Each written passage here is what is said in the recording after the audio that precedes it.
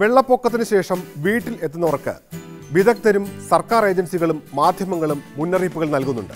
അത് പോരാഞ്ഞിട്ടാണ് സമൂഹ മാധ്യമങ്ങളിൽ ചില വ്യാജ വിദഗ്ധരുടെ വക പേടിപ്പിക്കുന്ന മുന്നറിയിപ്പുകൾ. ചട്ടുക തലയൻ എന്ന ഒരു ജീവിയുടെ ചിത്രം സഹിതമാണ് മുന്നറിയിപ്പ്.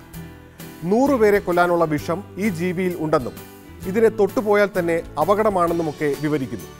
ഉപ്പു വിതറി കൊല്ലാനും ആഹ്വാനമുണ്ട്. സത്യമെന്താണ് ഹാമർ ഹെഡ് ഫ്ലാറ്റ് വേം എന്നറിയപ്പെടുന്ന ഒരു ജീവിയാണിത്. വിരവർഗത്തിൽപ്പെട്ടത് ബിപ്പാലിയം എന്നും പേരുണ്ട്.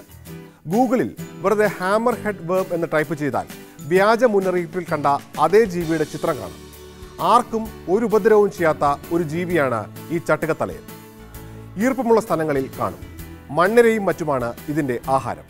കൈകൊണ്ട് തൊട്ടാൽ ചിലർക്ക് ചൊറിച്ചിൽ വരാൻ സാധ്യതയുണ്ട് എന്നതല്ലാതെ വേറൊരു കുഴപ്പവുമില്ല.